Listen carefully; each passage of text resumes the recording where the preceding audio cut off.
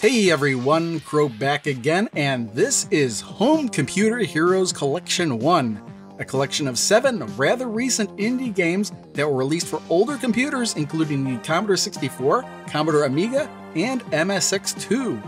As with every Evercade collection, what's included with the cartridge is a clamshell case and a full color manual, but also included as a bonus is a mini comic featuring the prologue for the Sword of IANNA, which is one of the games included, and also, I got a Steam code for Farming Simulator 17, which is on Steam. And I'm not sure if all copies will include this, and it wasn't really advertised that this would be included either. Now, I played all seven games included in the order in which they were originally released, and those games are Tanks Furry, which is a multiplayer tank game for the Amiga, Planet X2, a real time strategy game for the Commodore 64, The Sword of IANNA, an action platformer for the MSX2, Farming Simulator C64 Edition, and the title of this tells you exactly what it is. Bridge Strike, an action game for the Amiga, Attack of the PETSCII Robots, an action strategy game for the Amiga, and Citadel Remonstered, which is a first person shooter game, also for the Amiga.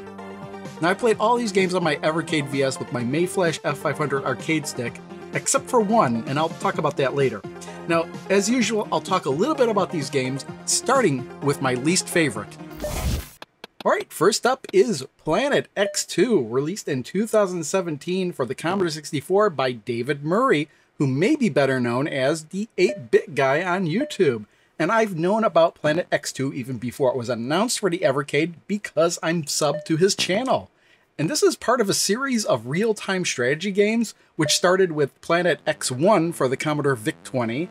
Then came this game, Planet X2 for the Commodore 64. Then there was Planet X3 for MS DOS. And most recently, as of December of 2023, Planet X16 for the Commander X16. And if you're like me and you're like, what the hell's the Commander X16? Well, it's basically a retro computer the 8 bit guy created in 2023, built with modern, off the shelf parts. And I'm not going to go into any more detail about it other than that because that's literally all I know about it. Now, the story for Planet X2 is quite simple. Humans discover Planet X2 and begin preparing for colonization. However, upon arriving, they find the planet is also being claimed by an alien race called the Protoids, who begin to thwart the humans' colonization efforts. And the result of this is this real time strategy game.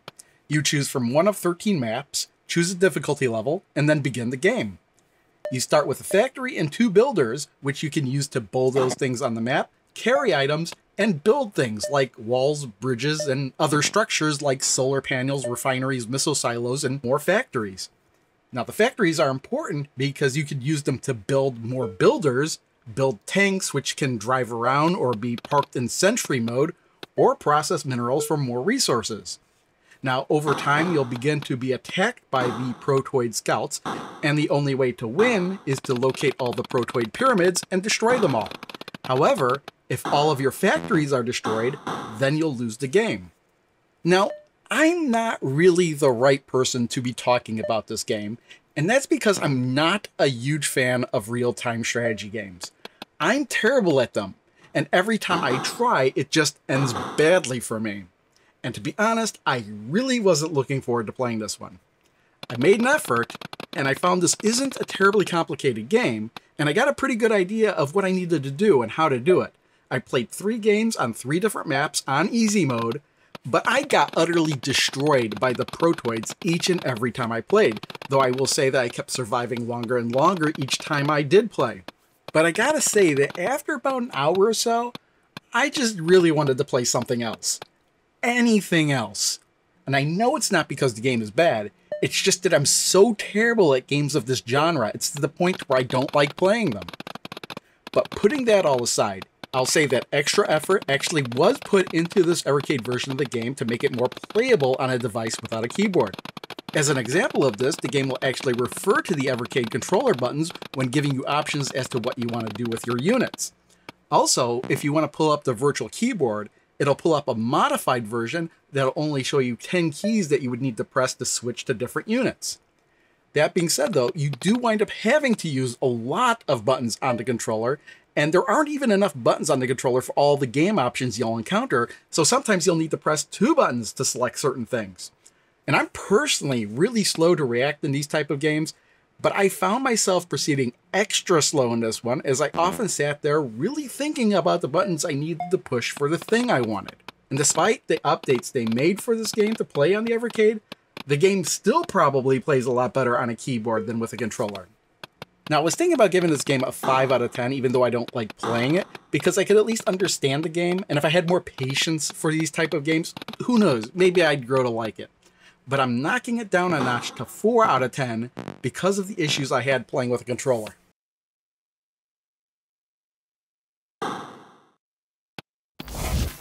Next is Farming Simulator C64 Edition. This was developed by Christian Ammann, co-founder and CEO of Giants Software, which is the same company that does all the other farming simulator games. Now, this was originally announced on April 1st, 2018 as an April Fool's joke, and you can still see that trailer on YouTube, and the link will be in the description below.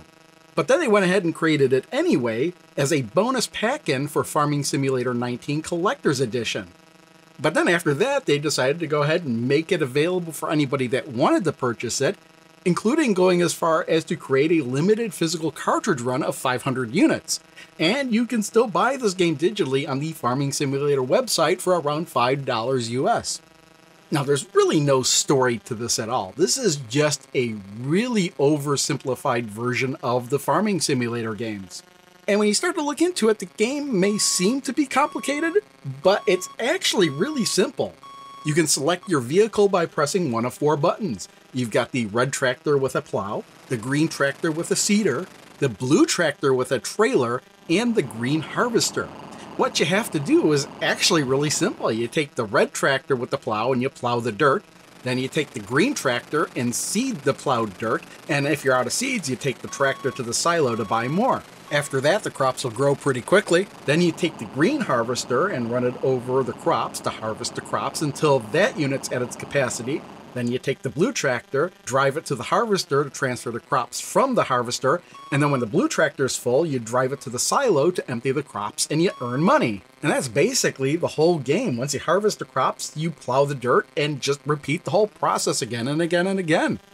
Now, there's actually two conditions that could lead to a game over. The first is if one of your vehicles runs out of gas. So you just have to make sure to keep an eye on how much gas your vehicle has, and if you're running low, just drive it to the gas station and fill it up before you run out. The other way the game can end is if you run out of money, and that can only happen if you're buying gas or buying seeds. If you leave the vehicle parked there too long and the money drains down to zero, bam, game over. Now, before I actually played this game myself, I decided to check out Farming Simulator 17 on Steam with the code that was included with this collection, and I did this because I never actually played a Farming Simulator game before, and hey, the game code was included, so why not? And man, within five minutes, I could tell that this was not the game for me. It was getting pretty in depth with the details, and I really don't have an interest in farming for real. So it wasn't too long before I started trying to cause as much havoc as I could, and the game just doesn't let you. All I wound up doing to make the game a little bit interesting was dump all my farm equipment in the water, and then I shut the game off. So my expectations of the C64 version of Farming Simulator weren't the best. However, this extremely simplified version of the game didn't bother me too much. In fact, I kinda liked it. It's just something you can play without putting too much thought into it.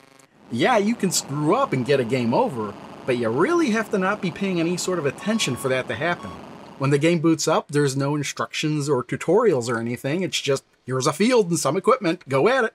But without any instructions and just knowing what the buttons did was enough for me to figure the game out in about 5 or 10 minutes. Now, there are a couple issues with the game, and the first is that your game will only show two vehicles on the screen at the same time the one you're driving and the one you last drove. So if you want to use the tractor with the trailer to pick up the crops from the harvester, the harvester had better be the last vehicle you had selected, otherwise you're not going to find it. But you know what? It's hardly an issue, it's just a minor nuisance at best because after you use the harvester, the next vehicle you're going to want to use is the tractor trailer anyway. Now, the other issue I found was with bumping into other items on the map, especially when you're driving the tractor trailer. It can be difficult just to keep vehicles on paths at times, and I found myself just hitting trees or signs or fences or whatever else might get in my way. And when that happens, you just kind of stop and you're forced to back up very slowly and try and wiggle your way to get past the thing you bumped into. Again, just kind of a minor nuisance and something that happens less frequently the more you play the game. And ultimately, I'll say that the game's okay. It's simple and straightforward, almost to the point to where it can get boring. Actually, you know what? I take that back. The game will get boring. But I think it's fine if you want to play something while also having the TV on or listening to music or something. This game really doesn't require your full attention. Now, I was really on the fence of giving this a 5 out of 10, but ultimately I kind of think I do like it, so I'll give it a 6 out of 10.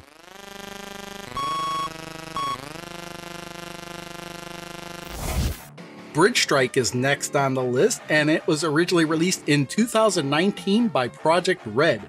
Now, the version included here is the Amiga version, but it was also released on iOS, Android, and on the Nintendo Switch. Now, I think the Amiga version was created first because at a glance, the iOS, Android, and Switch versions all seem to have game elements that were added that aren't in this Amiga version. And the most obvious thing I noticed is that there are coins to collect in those versions, but since this is the Amiga version and I actually didn't play the other versions, that's what I'm obviously going to be talking about here. Now, the game has an intro sequence that kind of tells you what the story is, and that's that some distant country has mobilized its military forces and has started to advance towards your territory. It's up to you to take your jet fighter and stop them. Now, as soon as I saw this game, I suspected that this would be a graphically updated version of Activision's River Raid, and I was totally right. Your jet can speed up, slow down, move left and right. The fire button will release missiles, but you can only have one set of missiles on the screen at any one time. And just about anything you come into contact with will destroy your jet in one hit, except for the aircraft carriers with the F on them, which will refuel your jet when you fly over them. And it's important to do that every so often because you're constantly losing fuel as you fly, or you can still destroy them for some points. Now, there are a couple differences between this and River Raid besides the graphics, obviously. And the first is that there are destructible rocks in this game that you'll sometimes need to destroy in order to fly past them. And the second is that this game actually does have an ending, complete with an epilogue and everything. Now, I like River so I was curious if this would be a better upgraded version of that. And in some respects, yeah, but I gotta say, I like River Raid more overall. I like the look of the game and the graphic design, and everything has a lot of detail. And occasionally, you'll see something on the screen that'll reference something, like these sandworms you may notice later in the game. However, I think the graphics are part of the reason the game feels harder than it should. And it's primarily due to the silos that'll launch missiles across the screen they can easily get lost with everything else going on in the background. And if you don't notice them before they launch the missile, you may get hit by them before you realize it. And the other thing is that the game's music is very grating on the ears after a while. The same few chords get repeated so often that I nearly quit playing after about 40 minutes because of it. And another thing I haven't mentioned, but I'm sure it's fairly obvious from the video footage, but when you fire missiles, they don't just go straight ahead they're steerable. So if you fire a missile and move left, the path of the missiles move left as well. Now I know River Raid had steerable missiles like this, but here I think I would have preferred if the missiles just kept going straight ahead after you fired them. And I think it's because your missiles move slower here than they did in River Raid, and that makes all the difference. Now I'd say those things are pretty big issues, but it's not enough for me to say I don't like the game. However, I'll say that River Raid is still a much more enjoyable game to play than this. I'll give this one a 6 out of 10.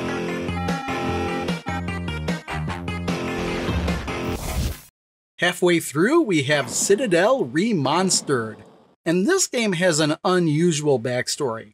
With the popularity of Doom in the early 90s, it was thought that a first person shooter like that wouldn't have been possible on the Amiga. So, four teenagers from Poland worked on creating a game like that for about a year, and the end result was Citadel, and it was released in 1995. And people were amazed that the game could even be run on a base level Amiga 500.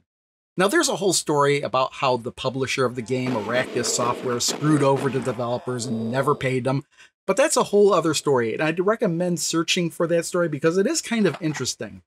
But fast forward to 2022, and two of the game's original developers released an upgraded and tweaked version of the game called Citadel Remonstered, which actually improves the game's graphics and performance, as well as tweaking the actual gameplay to make it a bit more fair to the player.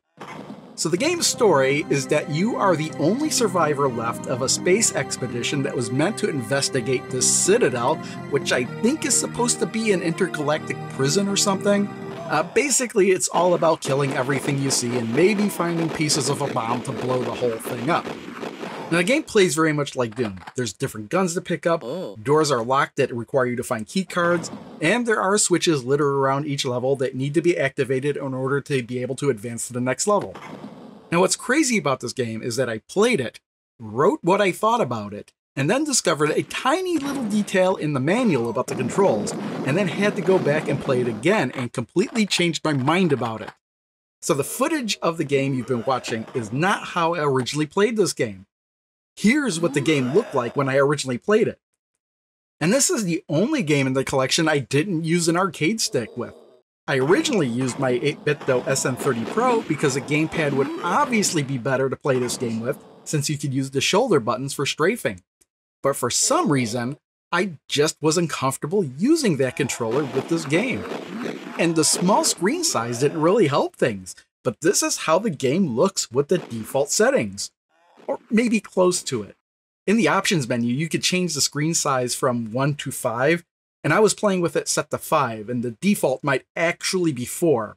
In case you're curious, here's what it looks like when it's set to 1 but I originally missed the note in the controls that said if you double tap the B button, it switches to a full screen mode, and that is so much more preferable. So I wonder why isn't this an option in the menu? Furthermore, why isn't this the default setting? You might think that the performance tanks in full screen mode, but I didn't really notice anything like that. Also, when I went back to play this game again, I decided to use the Evercade VS controller instead, and I gotta say, that was way more comfortable for me to use with this game. So, with those details out of the way, I'll say that I'm not really sure they were trying to create a game like Doom. I mean, it's not really like Doom at all in the end. It's not fast paced, there's no music to get you all pumped up, you don't even see the weapon you're carrying on screen. Now, I've only played three levels, but that's only because it takes forever to finish levels.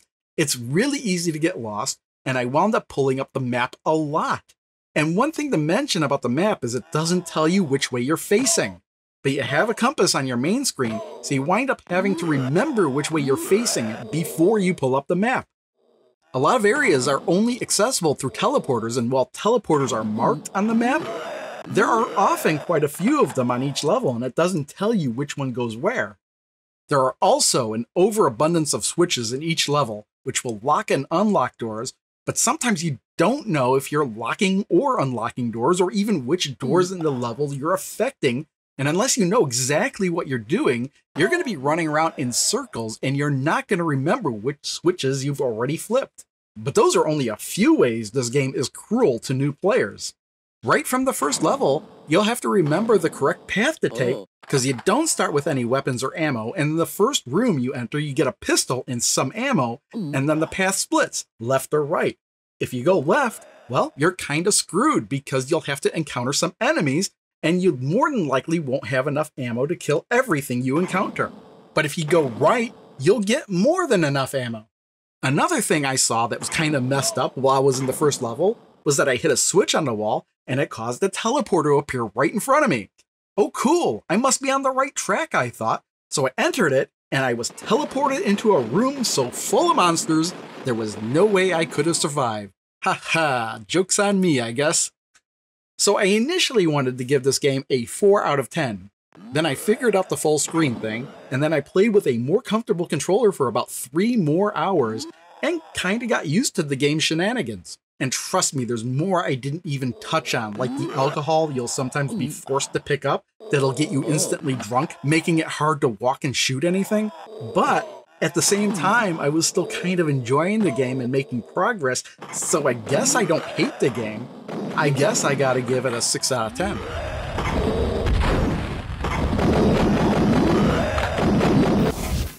Tanks Furry was originally released in 2016 for the Commodore Amiga by Project Red. These are the same people that did Bridge Strike. Tanks Fury is a top-down tank battle game that seems to be heavily influenced by the Famicom game Battle City. The story is that an army of moles is attacking a peaceful city intending to completely level every building and enslave its residents. Fortunately, Captain James McHound and Lieutenant Theon Greywolf quickly appear to drive back the invading force. The controls are really simple. The tank moves in the direction you move your controller, and there's a single fire button. And there are two game modes. First is the multiplayer mode, in which you can play with up to four players where you fight each other in multiple rounds. And I didn't really play this mode, I just kind of checked it out briefly. The main mode I played is the campaign mode, and this is for one or two players. There are 42 levels, and the objectives are to protect your radar, because if your radar is destroyed, it's game over. Don't lose all your lives, because that's obviously game over and destroy all the enemies, and they'll appear up to four or five at a time. And then once all the enemies are destroyed, you'll move on to the next level.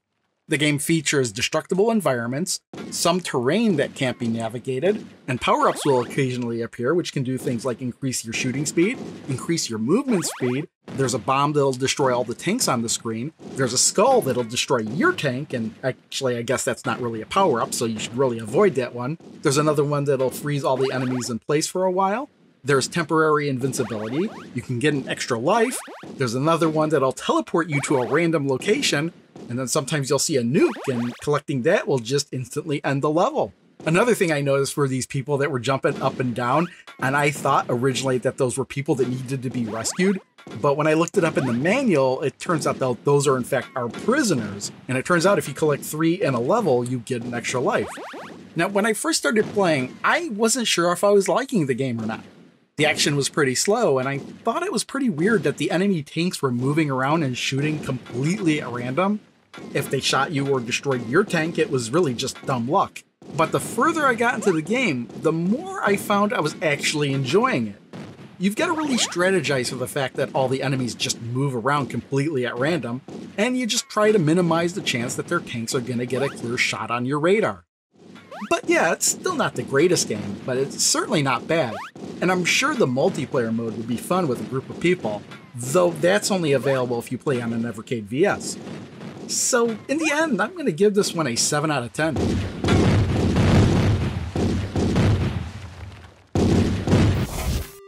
The Sword of IANNA was originally released in 2017 by RetroWorks. And by the way, I'm not 100% sure I'm saying that correctly, but that's the way the name of the game looks like it should be pronounced, so you'll just have to forgive me if I'm saying the name of the game incorrectly.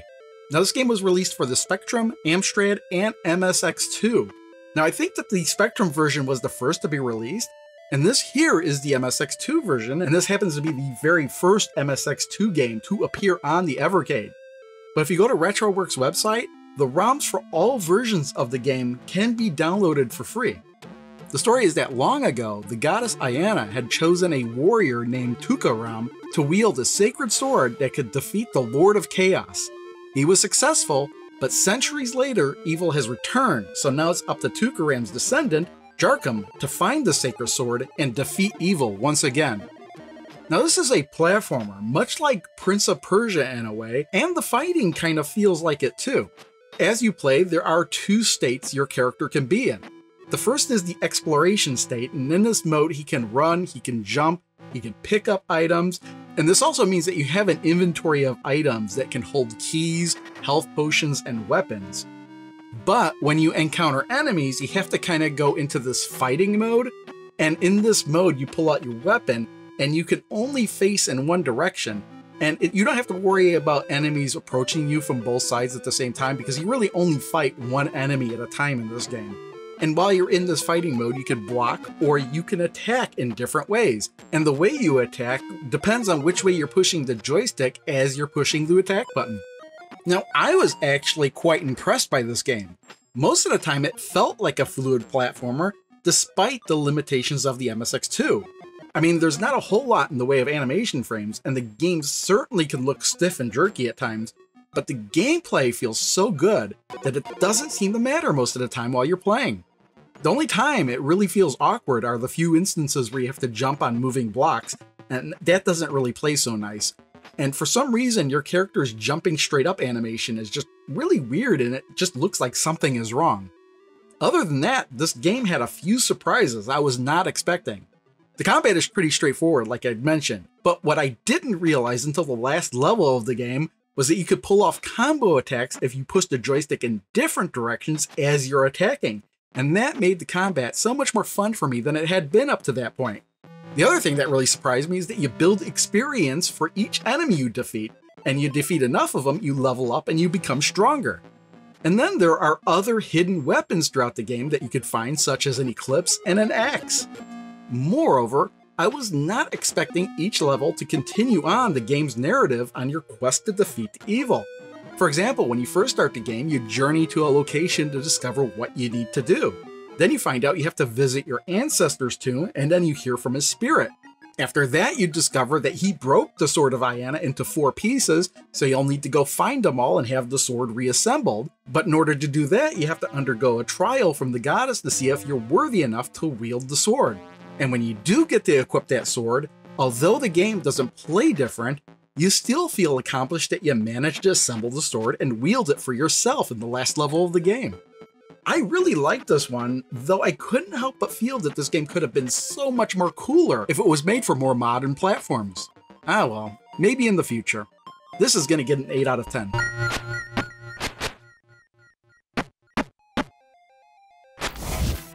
And my favorite game in the collection is Attack of the PETSCII Robots, and this version was released in 2021 for the Commodore 64 by David Murray. Yes, another game from the 8-bit guy. This is an action strategy game that started life on the Commodore PET, and PETSCII actually refers to the character set built in the Commodore PET. It was then ported to the Commodore 64, the Commodore VIC-20, and then many other platforms after that. Now the 8-bit guy didn't do all of these ports. In fact, the version included here is the Amiga version, and that wasn't ported by him. Now the game's story is that a bunch of human settlements have been taken over by robots, and it's your job to eliminate them all. There are 12 scenarios and 3 difficulty levels, and there are 3 types of robots you can encounter.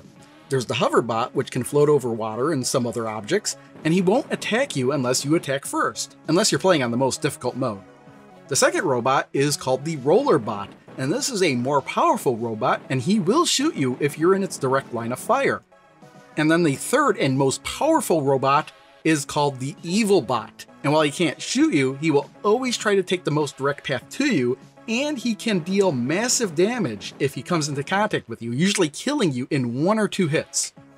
Now what you'll do is you'll move around each map with the ability to search and move objects, you can collect key cards, which can open locked doors, medkits, which can heal yourself, magnets that can be used for disrupting the robots, time bombs, which can cause an explosion a few seconds after they're placed, an EMP that can freeze all the robots on screen for a few seconds, and there are two types of guns you can pick up.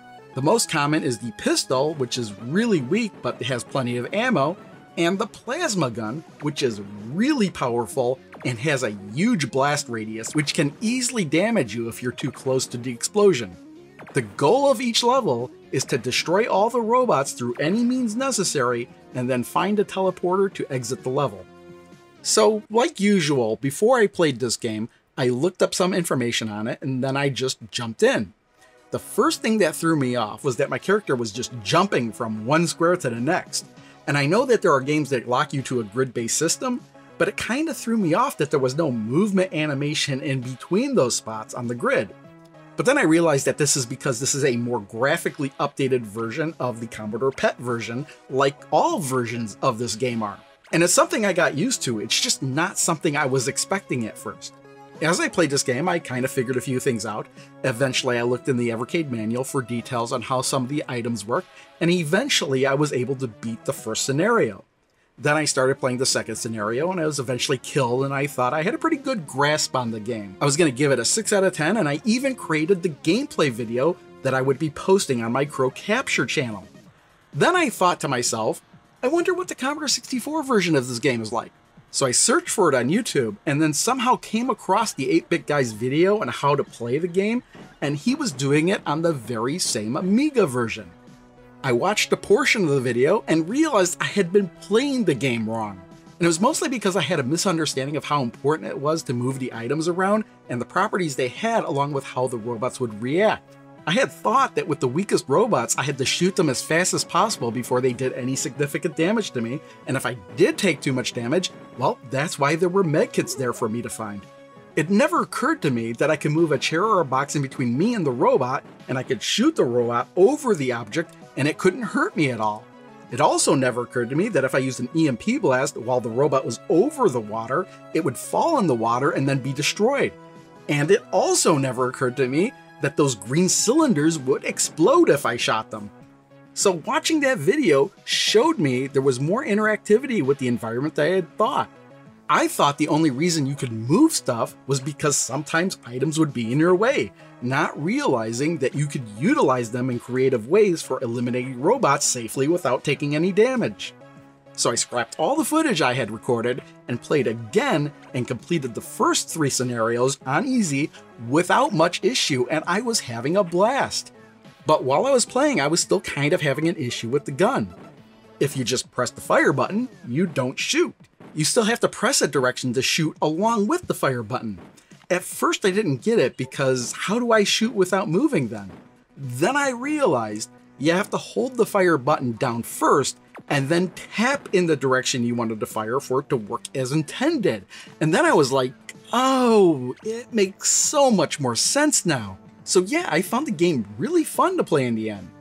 I still kind of think that pressing the fire button in the direction you're already facing would have been a better way to implement that, but maybe there's something with that where it wouldn't work well in certain situations that I'm just not aware of.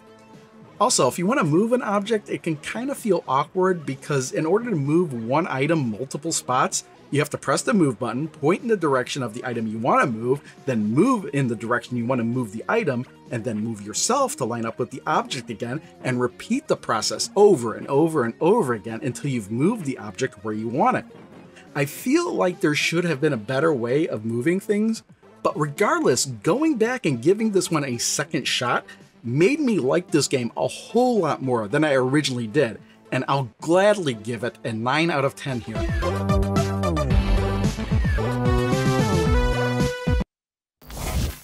So now it's time to rank Home Computer Heroes Collection 1 against all the other Evercade collections I've looked at so far. But before we get on with the ranking, you may notice that I've made some adjustments on this ranking list.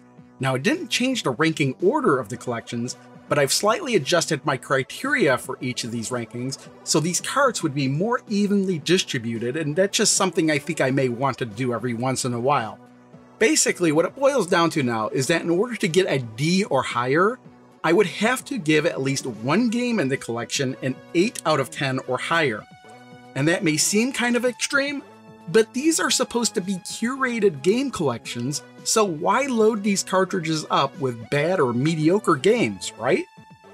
Anyway, before I had played Home Computer Heroes Collection 1, I really had no idea where it was going to wind up, even after I'd played some of these games and graded them.